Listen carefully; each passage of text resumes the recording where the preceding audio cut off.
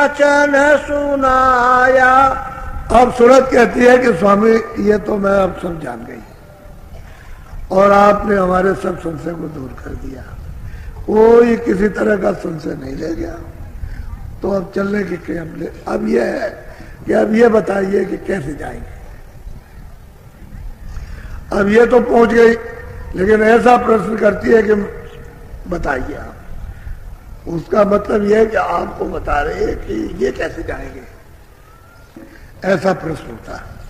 तो कहते हैं, स्वामी ने फिर उसको वचन सुनाया कि देख सुनत सही सच्ची बात तो यह कि जैसा आप बताएँ, वैसा करो तो घर में पहुँच जाओगी। जहाँ से आई हो, वहाँ पहुँच जाओगी और तुम वो काम नहीं करोगी तो फिर नहीं पहुँच सकती हो। तो वो बता रहे कि देख, मैं अब मारक का भेद सब कुछ खोलता हूँ, तुम्हें क्या करना?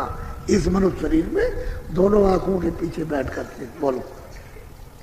मार्ग कायो भेद लखा सब लेकर यहाँ से लेकर के हाथ हाथ तक और हाथ से लेकर अंत तक। सब मारक का भेद तुमको बताता हूँ। बताऊँगा फिर उसके बाद में लिखाऊँगा। लिखाने का मतलब है दिखाऊँगा। पूरा पूरा बोलो। पाँच नाम का सुमिरन करो। श्याम से तमें कहते हैं कि पाँच नाम।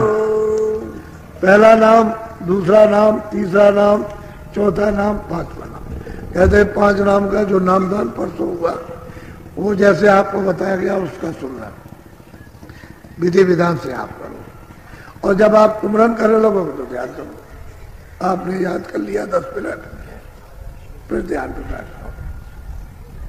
दस मिनट जाओ। पंद्रह मिनट, भजन पे बैठ जाओ। तो कहते हैं कि जब तुमने यहाँ दोनों आँखों के ये सामने बैठक बना ली ये द्वार है, यहीं पर। तो यहीं पर तुम्हारी ये धुलाई हो जाएगी। तो धीरे से जब तुम्हारी आँख खुलेगी, तीसरी आँख, तीसरा नेत्र तो कहते हैं कि श्याम में सफेदी नीले में सफ़ेद मुझे छिटका हुआ उसको श्याम, नीले में सफेदी उसमें वो तुमको जरा सा दिखाई देगा। कहते हैं, तुम अपनी सूरत को उसमें पो होने का मतलब है, जैसे तागे को सुई में डालो। कहते हैं, ऐसी प्रो दो, उसके अंदर में चली जाए वो बहुत छोटा छेद है।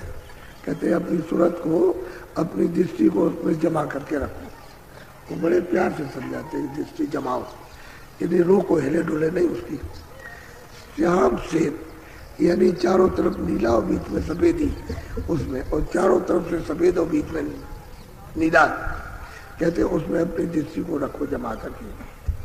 शाम से उसमें तो वो सामने आ जाता, सामने दिखाई देता। लेकिन जब जब उस आँख आपकी हिलेगी ऐसे, तभी तब गायब हो जाएगा। और ऐसे रुक जाएगी तो आ जाएगा सामने।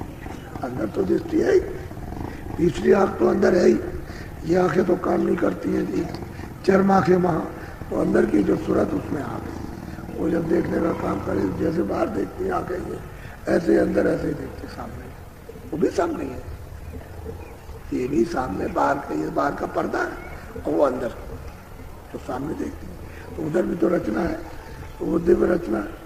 तो कहते हैं कि उस दरवाजे में घुसने के लिए उसके बीचों बीच में प्रवेश करो। रोको। एक जगह एकाग्र करो उसको ठहरा दो। बोलो। प्रथम सुनो गगन में बाजा।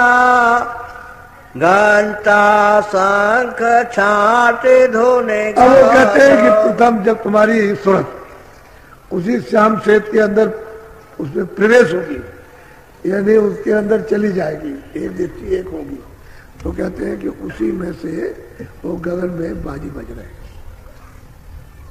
तरह तरह के बात। एक तरह के नहीं, हज़ारों बाजी एक साथ ऐसा गमागम बजता है, जिसका वर्णन नहीं हो सकता।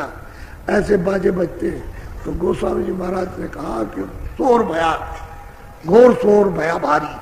कहते हैं, इतना शोर हुआ, इतना शोर हुआ कि मतलब यह है कि ये कौतूहल कहाँ से हो रहा उनको एक अचंबा आश्चर्य हुआ। तो गगन में तरह तरह के बाजे बजते हैं। अब वो बाजों को तुम ध्यान दे करके सुनो। बड़े रस, बड़े बड़े अच्छे, बड़े मीठे, बहुत सुहावने लगते हैं वो बाजे। यहाँ ऐसे बाजे नहीं। उधर तो आपका मन खिंच जाएगा। आपकी इंद्रियाँ उधर मोहित होने लगेंगी और सूरत की दृष्टि उस पर टिकने टिकने लगेगी। तो कहते हैं, उसी श्याम सेतु में अपनी दृष्टि को प्रो, उस पर जमाओ, अंदर जाने दो। और जैसे ही वो रुकेगी उसमें, वैसे ही गगन में बाजे सुनाई दे जब सुनाई कानों से देने लगे तो कान अलग है और आँख अलग है। जैसे ही वो प्रकाश पर रुकेगी, बस गगन में बाजे सुनाई देगा तो उसको कान से सुनो। कैसे सुनो कि बाजे तो पहले सुन लो। बहुत तरह के हो रहे हैं। तो ये बताया जाता है कि घंटे घंटे सन की आवाज़ को पकड़ो। तो ये याद रखो। क्योंकि ज्योतिष स्वरूप का जब ध्यान कराया जाता तो ये बताया जाता है उनकी आवाज़ ये है उनका नाम ये है उनका स्वरूप ये है उनका स्थान ये, इस पर ये बैठे हुए। तो आपने उस पर ध्यान दिया कि घंटे और सन की आवाज़ किधर है। तो जैसे ही आप आप उसको पकड़ने के लिए कोशिश करेंगे तो उसी में से धीरे धीरे धीरे धीरे जो बाजे बज रहे हैं, उसी में से आवाज़ आने लगेगी। घंटे की आवाज़। जब आवाज़ जरा सी मालूम हो कि घंटा सा कुछ टुन टुन करता है, कुछ टुन टुन करता है तो उसको जरा ध्यान दे करके सुनिए। तो सुनते सुनते कुछ दिनों के बाद सब बाजे बंद हो जाते हैं। वो एक बाजा आता है घंटा बज रहा। ऐसा मालूम होगा कि चारों तरफ़ बज रहा घंटा उसके सामने सब आवाज़ें बंद हो जाएँगी आवाज़। क्योंकि आपका निशाना उस आवाज़ पर लग गया और आवाज़ें बंद हो गई। नहीं उस आवाजों की वजह से घंटे और सन की आवाज़ सुनाई नहीं देती। तो महापुरुष कहते हैं कि भाई, पहले प्रथम जब दृष्टि ठहरेगी और श्याम सेत पर टिकेगी उसमें प्रवेश होगी तो गगन में बाजे आपको सुनाई देंगे। जब बाजे सुनाई दे सुन लो, उसमें से फिर छाट लो। छाटने का मतलब यह है कि उसको जब सुनोगे तो छट जाएगा। फिर रुआ बाजा सुनाई देगा और बाजे बंद हो जाएगा। बंद हो जाएगा। अब उसको आप सुनो। और सुनते सुनते सुनते सुनते उसमें ले हो जाओ। ऐसे नहीं कि आवाज़ घंटा बज रहा, बाजा बज रहा है तो आप मतलब खाली सुनते रहे। नहीं नहीं, सुनते नहीं सुनते सुनते इधर का ध्यान टूट जाए। कहीं का कोई ख्याल, मन, बुद्धि, चित्त इधर उधर कहीं नहीं। बस धीरे सुनते सुनते सुनते सुनते उसी में ले हो। जैसे आप ले हो जाओगे, उसे खींच लेगा ऐसे। शरीर से बिल्कुल अलग कर देगा। सूरत को शरीर से अलग खड़ेगा तो नीचे से सिमेट करके इधर आके खड़ी हो जाएगी। दरवाजे के बाहर। बाहर खड़ी होगी। तभी तो उसको पता चलेगा कि मैं कौन हूँ। ऐसे कैसे मालूम हो जाएगा उसको? मालूम तो जब ही होगा। जब उसको खींचेगा और खींच के दरवाजे पर ले आएगा। यानी उसके प्रकाश को खींच करके समेट लेगा और समेट के लाके खड़ा कर देगा। दरवाजे जब खड़ा हो जाएगा, तब दिखाई देगा। तब चारों तरफ़ ऐसे करके आग से देखोगे। पहले तो मैदान ही दिखाई देते हैं। मैदान में रचना है बहुत मैदान दिखाई देते हैं, उसमें प्रकाश आपको दिखाई देता तो कहते हैं कि भाई, उस आवाज़ को सुनो ध्यान से। ये प्रथम में इसी का ध्यान कराया जाता ताकि कोई नीचे से बाधा न हो। और आप इसको समझते नहीं हो। या। और जब घंटे की आवाज़ पकड़ के जब जिसमें से आवाज़ निकल रही, जब उसके पास खींचेगा तो कहीं ले नहीं जाएगा अपने पास।